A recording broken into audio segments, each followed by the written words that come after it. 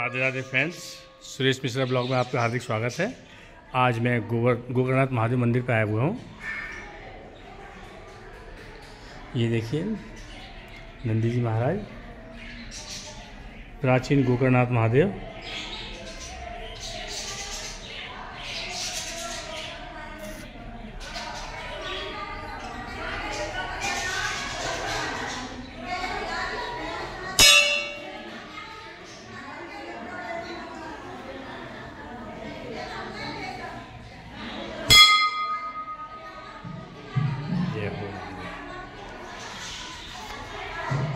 महंत जी क्या नाम है? मन्नू पंडित।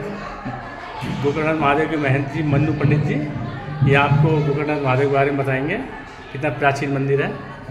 जैसा कि आपने सुना होगा मथुरा में चार महादेव प्रसिद्ध है रंगेश्वर भूतेश्वर पिपलेश्वर और गोकर्णेश्वर। ये मथुरा वृंदावन रोड पर आकाशवाणी के पीछे स्थित है और इनका इतिहास श्रीमद भागवत के प्रथम अध्याय में आता है। एक आत्मदेव नाम के ब्राह्मण हुए थे उनकी पत्नी का नाम है धुंधली।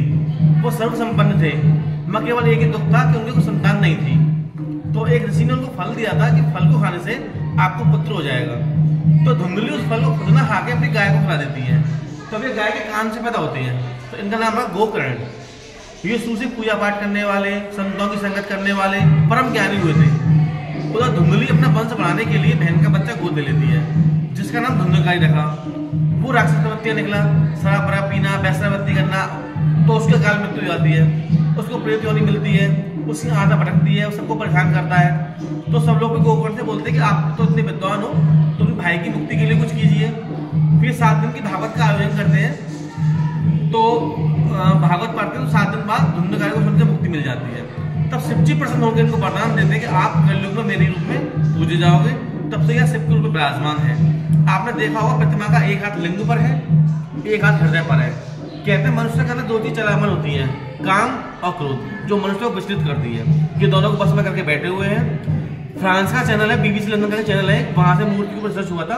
तो कम से कम मूर, हमारे ये विग्रह साढ़े पाँच हज़ार वर्ष पुराना विग्रह है, द्वापर युग से।